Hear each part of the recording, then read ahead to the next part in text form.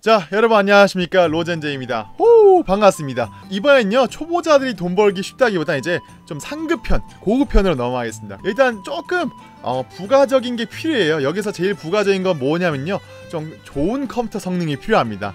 컴퓨터 성능이 좀 힘들다 싶으면은 노트북이라도 있었으면 좋겠습니다. 왜냐면은 이걸 하기 위해서는요 다중 클라이언트가 필요하기 때문에 꼭 다중 클라이언트가 될 수 있는 컴퓨터 혹은 어, 노트북이 있어야 합니다. 자 일단 제 옆에 보시면요 우리 로젠젠 1번 아무것도 연어 연어는 퍼덕이인데 이분들이 다 제가 가지고 있는 어 저 다중 클라이언트 다중 클라이언트 지금 옆에서 옆에서 지금 컴퓨터 노트북으로 갖다 제가 켜서 하고 있는 장면을 보고 계십니다. 자 보셨죠? 자 제가 가지고 있는 다중 클라이언트고요.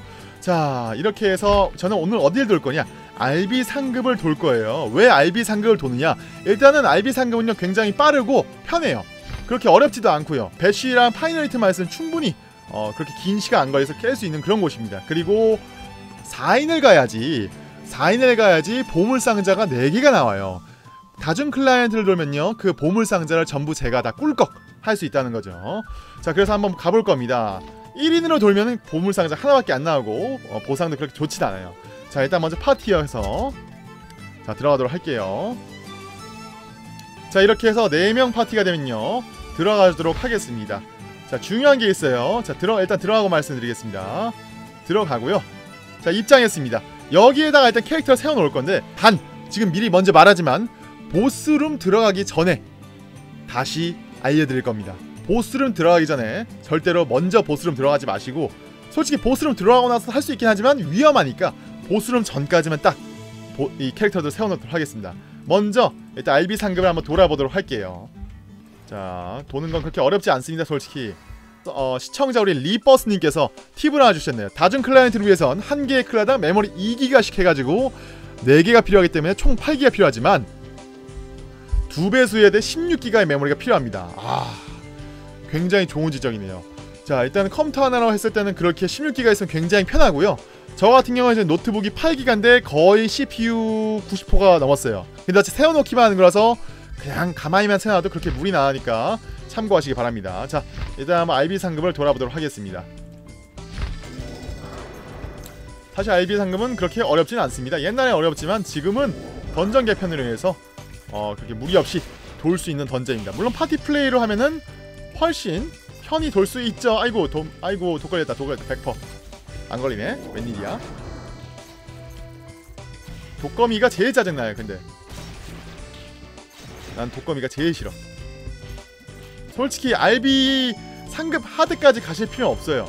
RB 상급만 돌아 충분히 돈을 잘 벌 수 있습니다. 자, 여기 보시면 여러분들 지금 중요한 게 나왔습니다. RB 상급에서 돈 벌 수 있는 것 중에 하나가 보, 보상만 있는 게 아니에요. 보시면은 라바한테 성도 나오는데 라바들이 여기 라바들이 약해요.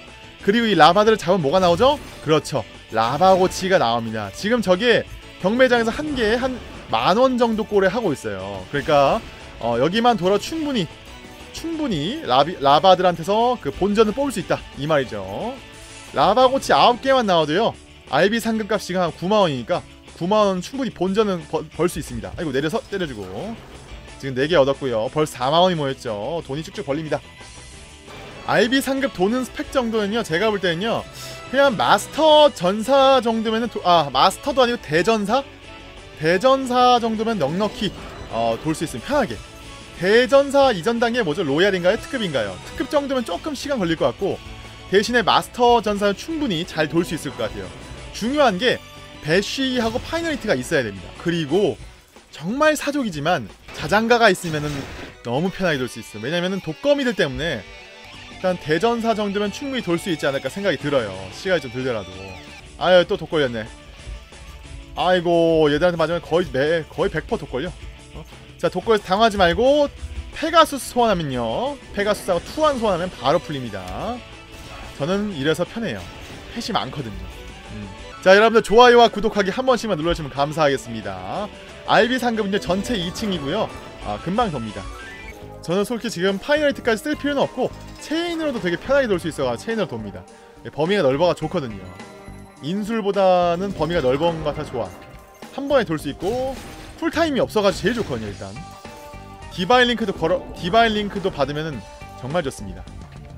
2층이라고 해서 그렇게 어렵지 않아요 나한테는 나한테 죄송합니다 저한테는요 지금 제가 돈지 11분이거든요 11분 되는데 지금 2층 거의 다 끝나 아 2층 초반입니다 한 15분에서 20분 정도 걸리는 것 같아요 제 기준에서는요 야, 제 스펙을 좀 말씀드리면요 그냥 여러가지 말씀드리는 것보단요 어, 재능으로 먼저 말씀드리겠습니다 재능이 지금 그랜마 전사, 마스터 전사, 마스터 랜서, 마스터 대장들이 마스터, 마스터, 마스터, 마스터 이렇게 쭉 되어 있습니다.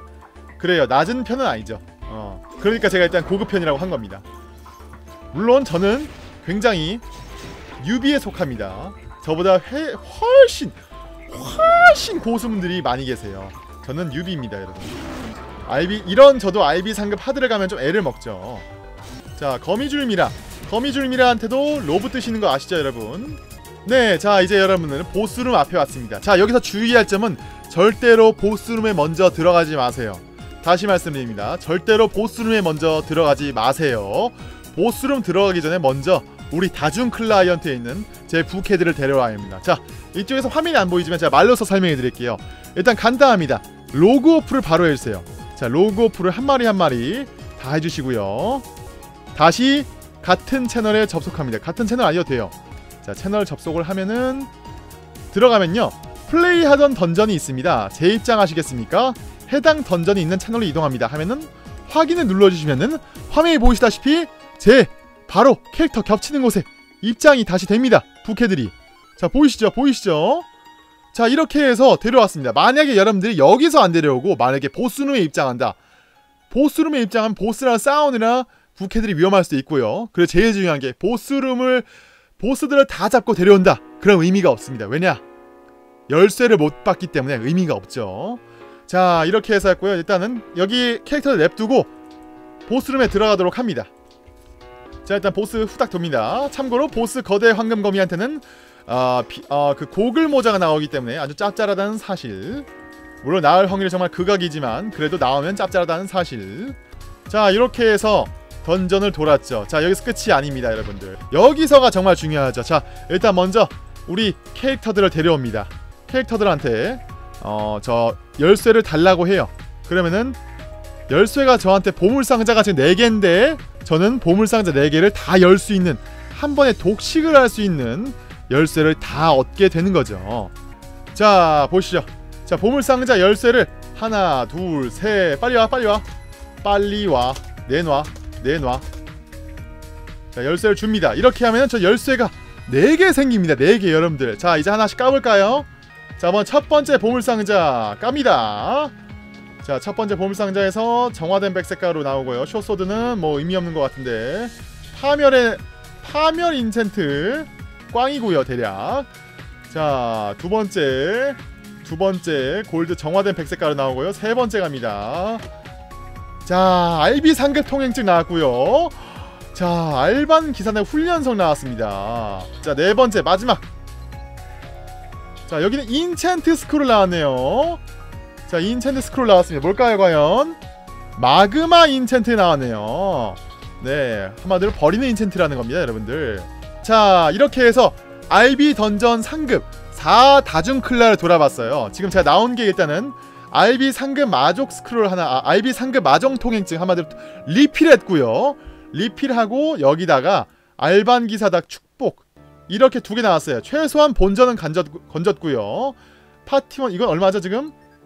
이건 경매장에서 경매장에서 1만에 팔리고 있네요 자 이렇게 해서 여러분들 4다중 클레를 돌아봤습니다 결과적으로 이득은 만골드가 나왔지만 걱정 마세요. 이런 식으로 돌고 돌다 보면요. 불안전한 라, 불안전한 RB 던전 통행증이 나오는데 그것을 먹는 순간 본전을 넘어서 핵 이득을 얻게 됩니다. 여기까지가 4다중 클레를 통해서 RB 상급 돈 변환 방법이었습니다. 감사합니다.